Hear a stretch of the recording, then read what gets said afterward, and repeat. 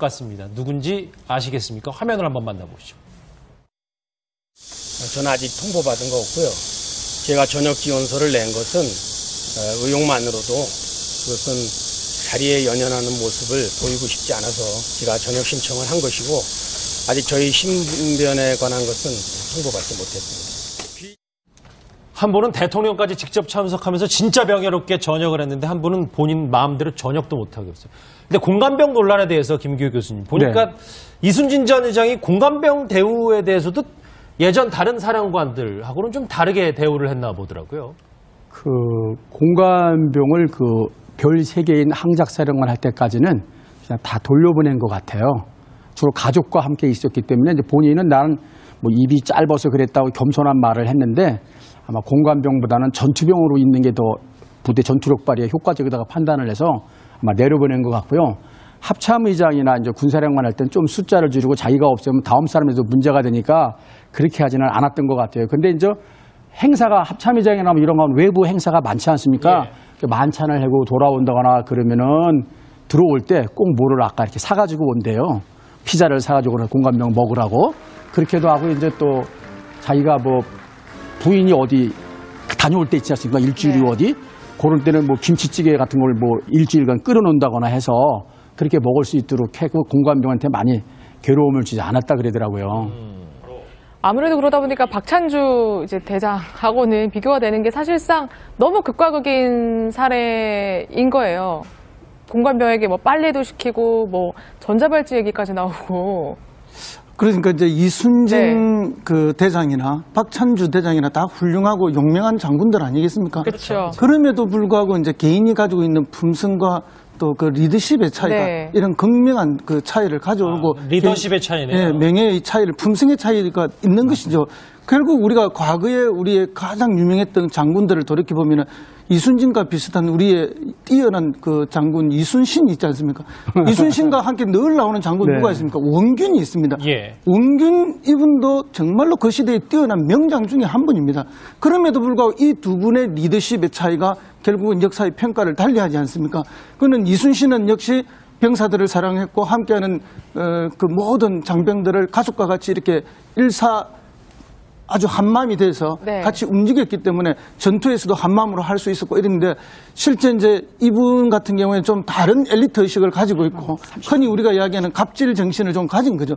이렇게 되면 병사들은 두려워는 하지만 존경하지 않는 그렇죠. 거죠. 바로 그런 차이가 나온다고 봅니다. 근데 그 하나 정정하고 싶은데 전자팔찌라는 용어는 안 썼으면 좋겠습니다. 전자팔찌는 아니고 이렇게 본인이 이제 오히려 수- 언제 달려갈지 항상 긴장해서 대기하니까 공관병 같은 경우에는 이 신호기를 휴대하고 있으면은 자기가 가는 시간 안 시간을 알 수가 있거든요. 근데 마침 전자팔찌라 그러니까 무슨 뭐 성폭행 범에게 채워주는 그런 걸로 오도될 수 네. 있거든요. 아니, 근데 그런 신호가 이제 좋은 거였으면은 저희가 그렇게 표현 안 하는데 박찬주 대장이 워낙 그 갑질을 했기 때문에 또 저희가 그렇게 표현할 수밖에 없어요. 네.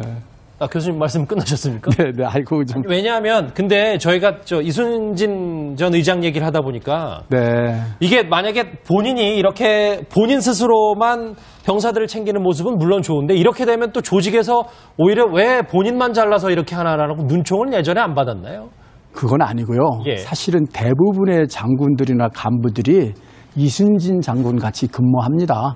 네. 그리고 어쩌다 특별한 거 아까 우리 저 말씀 잘하셨는데 개인 특성에 따라 좀 차이가 개인 차가 조금 나서 그렇게 된 거죠.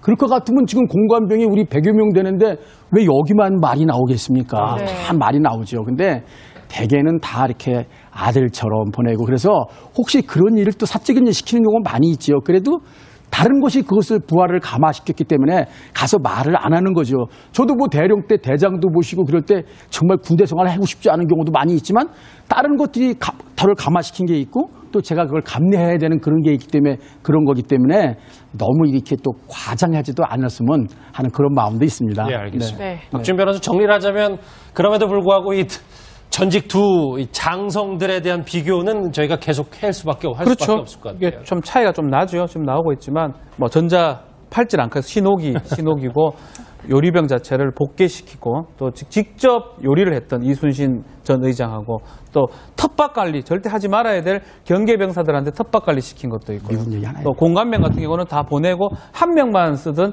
합참 의장 이순신 합창의장. 그렇지만 그게 이제 두 어떤 똑같은 별 4개 포스터지만 좀 비교되는 부분은 있고 아마 이 이렇게 비교를 함으로써 앞으로 군의 문화라든지 어떤 공간병 문화라든지 이런 것들이 바뀌는 계기가 되지 않을까 생각이 듭니다. 저도 그 동조하는데 제가 이것 때문에 미군 같은 경우는 미군 대장은 어떻게나 알아봤어요. 여기 예. 주한미군 사령관을 보니까 공관병이 아예 없어요. 네. 그리고 상사급 두 명이 공관장이라도 사령관 오시면 필요하면 퇴근하더라고요. 출퇴근 개념으로. 그리고 이 미팔군 사령관이 별 셋인데 이분도 공관병이 없어요. 거기는 상사 한 명이 있고. 막 우리 국방부에서도 공관병 제도를 없앤다 그러는데 이제 군이 지금까지 해오던 늘 해오던 대로 이렇게 관성에서 하던 거 이것을 이제 지금 확 시대가 어느 시대인데 바뀔 거 있으면 과감히 바뀔 수 있는 이것도 군사 국방 개혁 아니겠습니까? 그렇죠. 이제 이런 식으로 나가야 될 것 같습니다. 군 이미지가 이 참군인인 이순진 전 의장 때문에 좀 회복이 됐으면 좋겠습니다. 전투병으로 있는 게 더 부대 전투력 발휘에 효과적이다가 판단을 해서 아마 내려보낸 것 같고요. 합참 의장이나 이제 군사령관 할땐좀 숫자를 줄이고 자기가 없으면 다음 사람에도 문제가 되니까 그렇게 하지는 않았던 것 같아요. 근데 이제 행사가 합참 의장이나 뭐 이런 건 외부 행사가 많지 않습니까? 예. 그 만찬을 하고 돌아온다거나 그러면은 들어올 때 꼭 뭐를 아까 이렇게 사가지고 온대요. 피자를 사가지고 공감병 먹으라고. 그렇게도 하고 이제 또 자기가 뭐 부인이 어디 다녀올 때 있지 않습니까? 일주일이 네. 어디? 그런 때는 뭐 김치찌개 같은 걸 뭐 일주일간 끓여놓는다거나 해서 그렇게 먹을 수 있도록 해고 공관병한테 많이 괴로움을 주지 않았다 그러더라고요. 아무래도 그러다 보니까 박찬주 이제 대장하고는 비교가 되는 게 사실상 너무 극과 극인 사례인 거예요. 공관병에게 뭐 빨래도 시키고 뭐 전자발찌 얘기까지 나오고 그러니까 이제 네. 이순진 그 대장이나 박찬주 대장이나 다 훌륭하고 용맹한 장군들 아니겠습니까? 그렇죠. 그럼에도 불구하고 이제 개인이 가지고 있는 품성과 또 그 리더십의 차이가 네. 이런 극명한 그 차이를 가져오고 아, 리더십의 차이네요. 예, 명예의 차이를 품성의 차이가 있는 것이죠.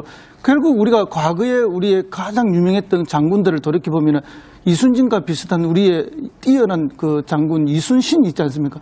이순신과 함께 늘 나오는 장군 네. 누가 있습니까? 원균이 있습니다. 예. 원균 이분도 정말로 그 시대에 뛰어난 명장 중에 한 분입니다. 그럼에도 불구하고 이 두 분의 리더십의 차이가 결국은 역사의 평가를 달리하지 않습니까? 그는 이순신은 역시 병사들을 사랑했고 함께하는 어, 그 모든 장병들을 가족과 같이 이렇게 일사 아주 한마음이 돼서 네. 같이 움직였기 때문에 전투에서도 한마음으로 할수 네, 본인 스스로만 병사들을 챙기는 모습은 물론 좋은데 이렇게 되면 또 조직에서 오히려 왜 본인만 잘라서 이렇게 하나라고 눈총을 예전에 안 받았나요? 그건 아니고요. 예. 사실은 대부분의 장군들이나 간부들이 이순진 장군 같이 근무합니다. 네, 그리고 어쩌다 특별한 아까 우리 저 말씀 잘하셨는데 개인 특성에 따라 좀 차이가 개인 차가 조금 나서 그렇게 된 거죠. 그럴 것 같으면 지금 공관병이 우리 100여 명 되는데 왜 여기만 말이 나오겠습니까? 네. 다 말이 나오죠. 근데 대개는 다 이렇게 아들처럼 보내고 그래서 혹시 그런 일을 또 사적인 일 시키는 경우가 많이 있죠. 그래도 다른 곳이 그것을 부활을 감화시켰기 때문에 가서 말을 안 하는 거죠. 저도 뭐 대령 때 대장도 보시고 그럴 때 정말 군대 생활을 하고 싶지 않은 경우도 많이 있지만 다른 것들이 가, 저를 감화시킨 게 있고 또 제가 그걸 감내해야 되는 그런 게 있기 때문에 그런 거기 때문에 있었고 이랬는데 실제 이제 이분 같은 경우에는 좀 다른 엘리트 의식을 가지고 있고 흔히 우리가 이야기하는 갑질 정신을 좀 가진 거죠. 이렇게 되면 병사들은 두려워는 하지만 존경하지 않는 그렇죠. 거죠. 바로 그런 차이가 나온다고 봅니다. 근데 그 하나 정정하고 싶은데 전자팔찌라는 용어는 안 썼으면 좋겠습니다. 전자팔찌는 아니고 이렇게 본인이 이제 오히려 수- 언제 달려갈지 항상 긴장해서 대기하니까 공관병 같은 경우에는 이 신호기를 휴대하고 있으면은 자기가 가는 시간 안 시간을 알 수가 있거든요. 근데 마침 전자팔찌라 그러니까 무슨 뭐 성폭행 범에게 채워주는 그런 걸로 오도될 수 네. 아니, 있거든요. 근데 그런 신호가 이제 좋은 거였으면은 저희가 그렇게 표현 안 하는데 박찬주 대장이 워낙 그 갑질을 했기 때문에 또 저희가 그렇게 표현할 수밖에 없어요. 네. 아, 교수님 말씀 끝나셨습니까? 네, 네, 알고 좀. 왜냐하면 근데 저희가 저 이순진 전 의장 얘기를 하다 보니까 네. 이게 만약에 본인이 이렇게 것 같습니다. 누군지 아시겠습니까? 화면을 한번 만나보시죠.